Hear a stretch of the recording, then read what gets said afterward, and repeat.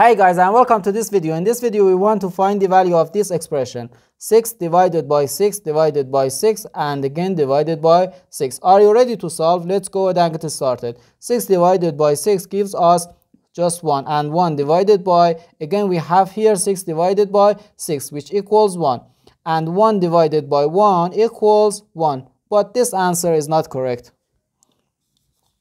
because according to the order of operations we have to work from left to right. So first this division and then this division and finally this division. Okay, we have to work from left to right.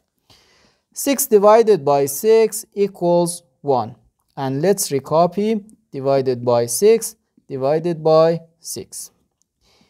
Now 1 divided by 6 can be written as 1 over 6 and divided by 6. Now, we have a KCF rule. K stands for keep, C stands for change, and F stands for flip. Keep the first fraction, change division to multiplication, and flip the second fraction. Our second fraction is 6 over 1.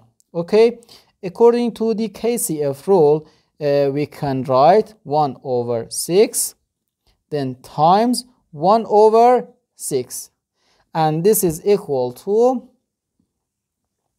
1 over 6 times 6 which equals 36 so our final answer to this problem is just 1 over 36